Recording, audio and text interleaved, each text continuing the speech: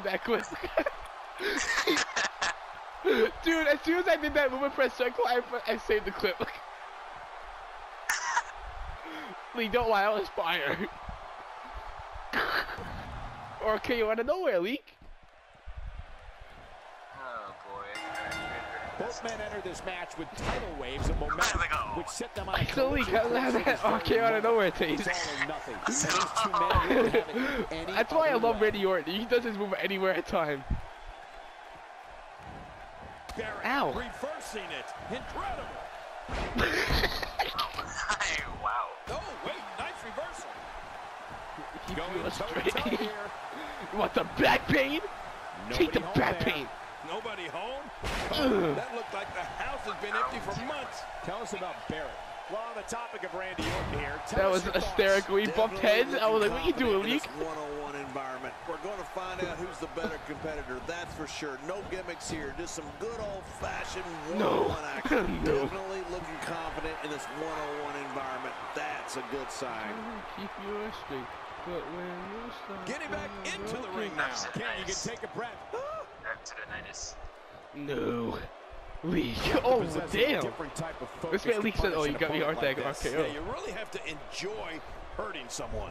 A rivalry that I think helped Randy But Orton when you solidify start his true getting broken. was his journey into Death Valley versus The Undertaker. Remember that? Oh, of course. Orton proved to be one of the dead man's greatest adversaries, and to this day, the Vipers match versus the Phenom at WrestleMania 21 is regarded as one of the best in the street. Getting broken. With this kind of attack, you have to wonder just how much longer they can compete in this match. Yeah, I completely agree. The way things are going in there, I'd say not much longer. My gosh, this is a beating. And now it's Randy Orton with momentum. Man, oh man, did he take a wild swing with that one. You're right. That was wild indeed. Good thing we're over here. Jerry, you touched on the incredible rivalry between Randy Orton and The Undertaker, and I have to say, as someone who was in the broadcast position for so many of their face-offs on SmackDown and called their showdown You at the 21st. Showcase of the Immortals, Orton versus Undertaker was one of the gravest challenges to the life of the streak ever.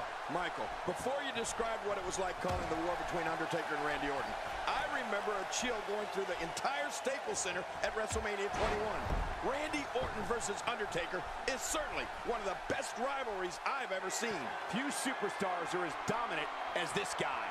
At least like what you doing.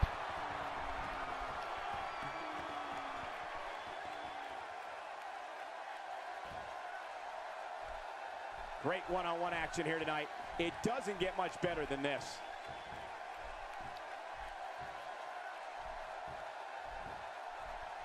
The Apex Predator has experience in making history. In October 2007, Orton became WWE Champion for the first time at the No Mercy pay-per-view. It began when Mr. McMahon awarded Orton the championship.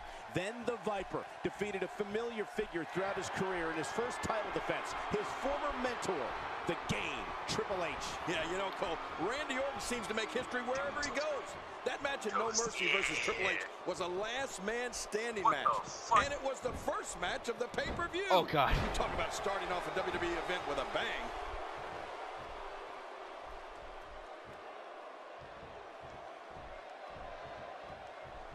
Okay.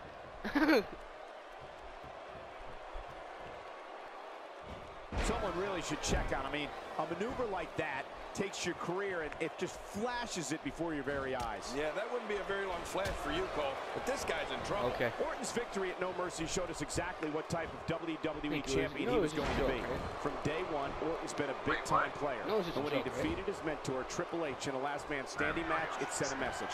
It sent a message to So the weak. entire WWE that the Viper was going to have that championship for a long time. No way! What a move from Randy Orton. Sick. That's how you impress the ah, WWE Your Universe, voice is trying. Come on. Sing with me.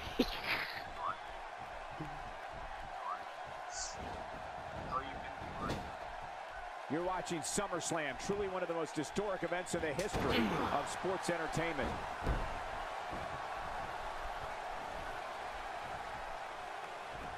Michael, you talked about Randy Orton and his making history at No Mercy 2007. He had a No! six-month reign as champion, and as we all know, it would not be his last time wearing the WWE Championship around his waist. I think Randy feels the WWE Championship should be his by default yes. until he decides that he doesn't want it anymore. I hear voices crying. Man, Baron. I hear people dying. the RKO. That should do it.